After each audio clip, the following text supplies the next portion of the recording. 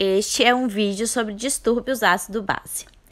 Eu vou falar um pouquinho sobre abordagem sistêmica.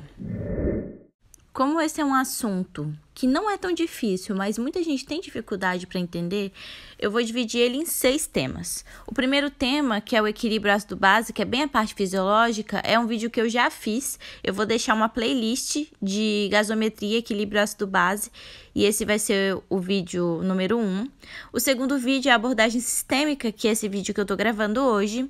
Depois eu vou falar dos distúrbios, então eu vou fazer um vídeo sobre acidose metabólica, um sobre alcalose metabólica e outro sobre acidose acidose respiratória e a alcalose respiratória.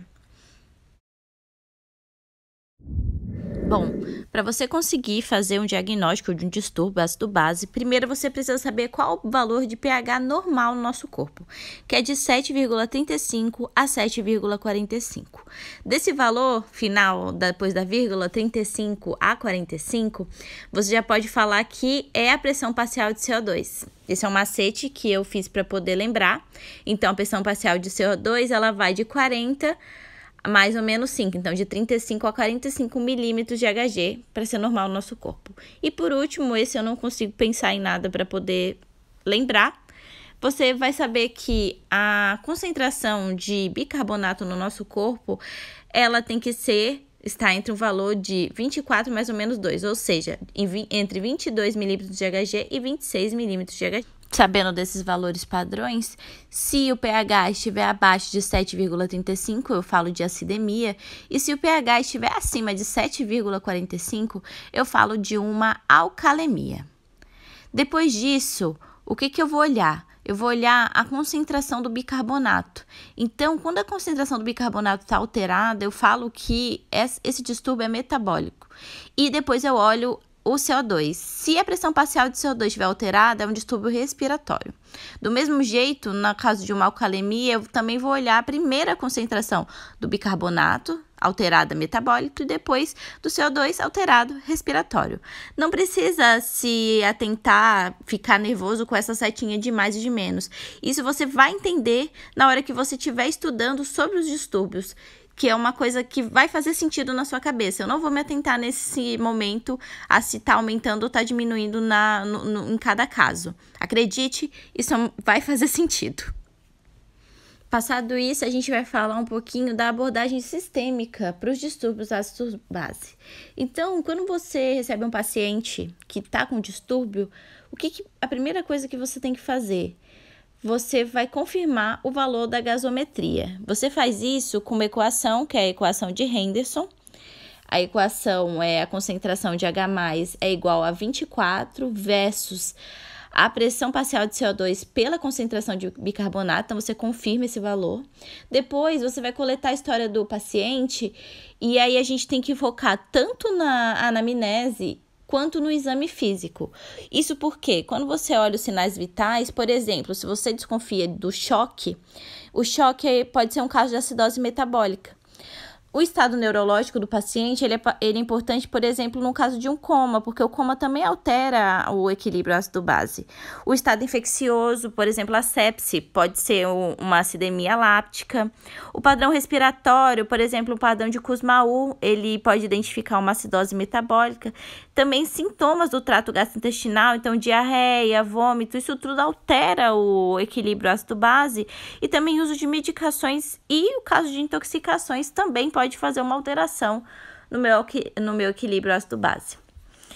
Então, é, tendo feito isso, eu vou determinar se o distúrbio ácido-base primário, se ele é uma acidemia ou uma alcalemia.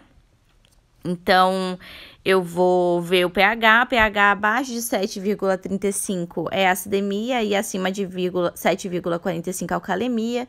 Vou ver se o distúrbio é metabólico, ou seja, se tem alteração na minha concentração de bicarbonato ou é respiratório, alteração do CO2.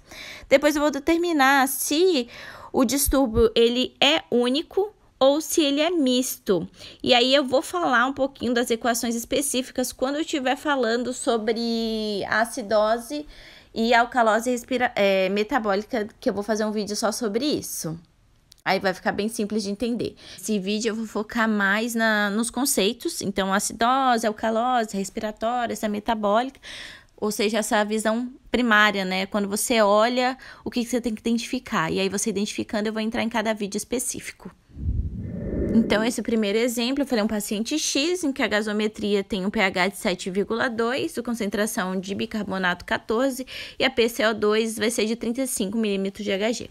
Então, a primeira coisa, eu vou ver o pH, pH 7,2, lembra do limite 7,35 a 7,45, então esse caso tá menor, é acidemia. Depois eu vou olhar o, a concentração do bicarbonato, nesse caso é 14, o normal entre 24 mais ou menos 2, então eu já sei que é um distúrbio metabólico porque está alterado, independente se está aumentado, diminuído, não vamos focar nisso agora. Depois eu vou olhar então a concentração da, do CO2, a pressão parcial de CO2. Nesse caso eu deixei normal de propósito, mas você vai ver que tem vários é, vieses na hora que você vai olhar. Eu vou falar isso também nos vídeos específicos. E aí, eu tenho um diagnóstico, né? Acidose metabólica. Lembre-se sempre de colocar acidemia, tá? Quando você olha só o pH, você vai chamar de alcalose ou acidose, dependendo dos outros valores. Agora vamos para o nosso segundo exemplo: pH 7,5, bicarbonato 24 e PCO2 14. Então, novamente o pH, eu vejo o pH, se está maior do que 7,45 alcalemia, vou olhar o bicarbonato, tá normal. O PCO2 tá 14, então ele tá alterado. Se ele está alterado, eu vou chamar de respiratória. Então, alcalemia é alcalose respiratória, ou seja, já tenho o diagnóstico. E o último exemplo, que é pH 7,31, bicarbonato 13 e PCO2 28, bicarbonato 7,31, acidemia. Eu vou olhar então o bicarbonato 13, ele tá alterado, então é, eu vou chamar metabólica, lembrando do limite entre 24 mais menos 2, e a PCO2 29, nesse caso também está alterada. Ops, né? E agora?